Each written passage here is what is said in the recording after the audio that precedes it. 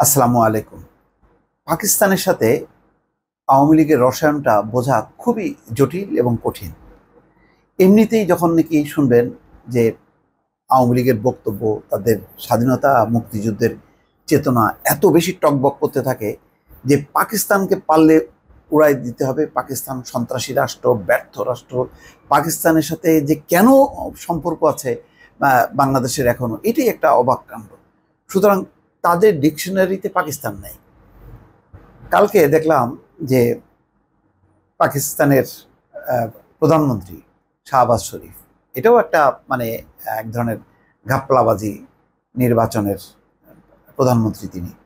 সামান্য একটু প্রশংসা করেছেন, বাস। আমি কালকে ভাবলাম যে এইটাকে তো মনে হয় ক্যাশ করবে, কেননা এখন মানে ছিটে ফোটা কোনো প্রশংসা আসলে খাপ করে এটা আওয়ামী লীগ এটা মানে টেনে ধরে। সেটাই বলতে থাকে। তো পাকিস্তানের এই বক্তব্যকে ধারণ করা তো কথা না। এত বেশি গদগদ হয়ে গেল কেন? পাকিস্তান একেবারে জাতশত্রু। তাহলে পাকিস্তান কেন? একটা ব্যর্থ রাষ্ট্র, সে বাংলাদেশের কি উন্নতি দেখল? এটা কি মিথ্যা বলল নাকি সত্য বলল? তার তো কোনো কথাই বিশ্বাস করা উচিত না। আওয়ামী লীগের যা হাবভাব, তাতে পাকিস্তানকে বিশ্বাস করা উচিত না। সে প্রশংসা করলে কি আর নিন্দা করলেই কি? এটা তো ধরাই উচিত না। কিন্তু না এইটাও এমনভাবে ধরলো, আজকে দেখলাম যে বিভিন্ন পত্রিকা এটা শিরোনাম করছে। ওবায়দুল কাদের খুব গদগদ হয়ে এই বিষয়ে বক্তব্য দিচ্ছে। সমকালের ইয়ে শিরোনামটা হচ্ছে এরকম, পাকিস্তানের প্রধানমন্ত্রীর বক্তব্য থেকে বিএনপির শিক্ষা নেওয়া উচিত। আচ্ছা আরেকটা দেখলাম যে ঢাকা পোস্ট, যে বাংলাদেশের উন্নয়নে পাকিস্তান প্রশংসা করে, অথচ বিরোধী দল সেটা করে না বা সেটা দেখে না। প্রথম আলোর শিরোনাম হচ্ছে যে বাংলাদেশের উন্নয়নে পাকিস্তান প্রশংসা করে, অথচ বিরোধী দল তা দেখে না, ওবায়দুল কাদের। এত দুঃখ তাদের। তো অসুবিধা কি আছে? মানে যদি বিএনপি নাই দেখল, সমস্যা কি? কেন স্বীকৃতি দেওয়া হচ্ছে না এই আওয়ামী লীগের উন্নয়নকে। এটার জন্য আফসোসের শেষ নেই। এখন পাকিস্তান হচ্ছে এখন বিশাল ব্যাপার হয়ে গেছে তাদের কাছে যে পাকিস্তানের এই ঘাপলাবাজির যে একটা নির্বাচন হলো, সেই নির্বাচনে সবাই জানে যে ইমরান খানের সমর্থিত প্রার্থীরা বেশি আসনে জয়ী হয়েছে, কিন্তু ওই যে তৃতীয় এবং দ্বিতীয় এবং তৃতীয় দল মিলে একটা জোড়াতালির মানে সরকার গঠন করল। তার প্রধানমন্ত্রী হচ্ছে শাহবাজ শরীফ। যার, যাকে জনগণ ম্যান্ডেট দেয়নি এককভাবে। তো সেই মানে লোককে নিয়ে প্রশংসায় গদগদ। যাই হোক, এটা ভালো, অন্তত আওয়ামী লীগের মুখ থেকে প্রশংসা হচ্ছে পাকিস্তানের। এটাও কয়েকদিন আগে দেখলাম কি আতিফ আসলাম আসলো মানে একেবারে রীতিমতো মাঠ কাঁপালো ঢাকায়।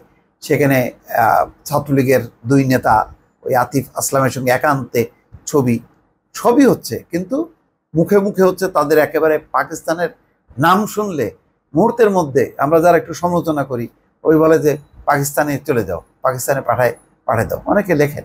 এখন তারা কি বলবেন? এখন তো শাহবাজ শরীফের এই প্রশংসায় খুব গদগদ।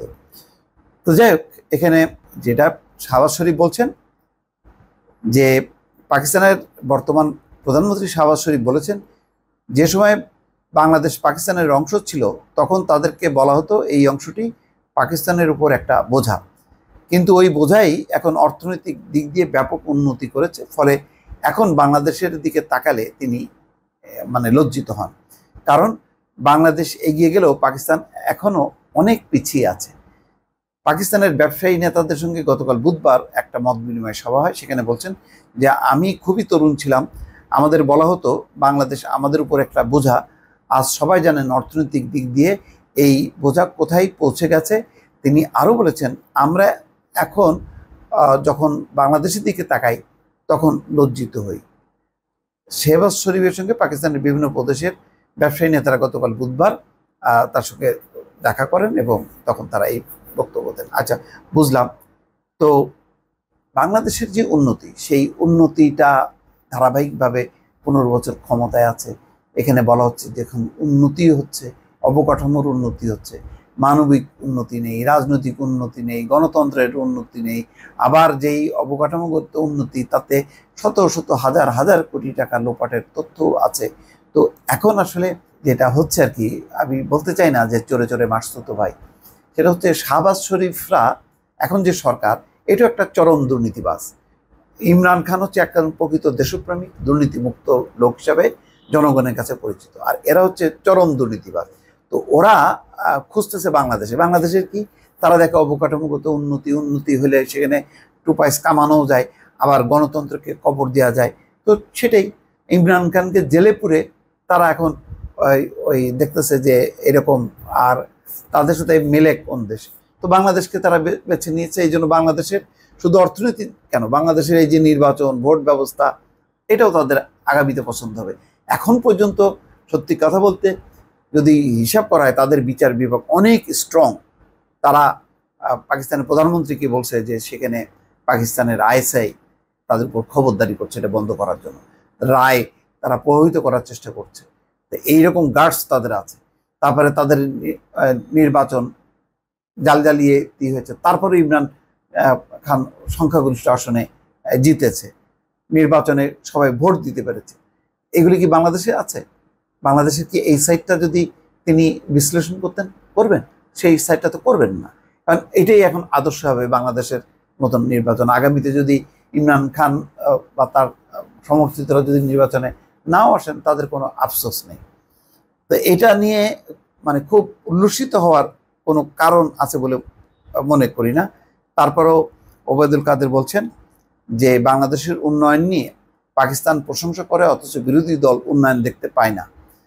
তিনি বলেন, তারা দিনের আলোতে রাতের অন্ধকার দেখে। দেশের উন্নয়ন নিয়ে হীন মনোবৃত্তির পরিচয় দিচ্ছে তারা। পাকিস্তানের প্রধানমন্ত্রীর বক্তব্য থেকে তাদের বাস্তবতা বোঝা উচিত। এই হচ্ছে তাদের বক্তব্য। ওবায়দুল কাদের বলছেন, বাংলাদেশের উন্নতি দেখে পাকিস্তানের প্রধানমন্ত্রী শাহবাজ শরীফ লজ্জিত হন। অতীতে পূর্ব পাকিস্তানকে তাদের কাছে বোঝা মনে হতো। এখন সেই বোঝাই উন্নয়নে এগিয়ে গেছে। সেই উন্নয়ন দেখে তিনি লজ্জিত হন। বিএনপি যতটা অপপ্রচার করে, তাদের শাহবাজ শরীফের বক্তব্য থেকে প্রকৃত সত্য শিক্ষা নেওয়ার অনেক কিছু আছে। তার মানে ওখানে শাহবাজ শরীফ যা যা বলবেন, ওবায়দুল কাদের সেটা সেটা উল্লেখ উল্লেখ করছেন। মানে এই হচ্ছে দ্বিচারিতা। পাকিস্তানকে মুখে মুখে হচ্ছে মানে তাদেরকে একেবারে ধ্বংস করো, বিনাশ করো। তাদের একটা জঙ্গি রাষ্ট্র, সন্ত্রাসী রাষ্ট্র, ব্যর্থ রাষ্ট্র। আবার যখন নাকি প্রশংসা করছে, টপ করে তখন ওই অংশটা তারা নিচ্ছে।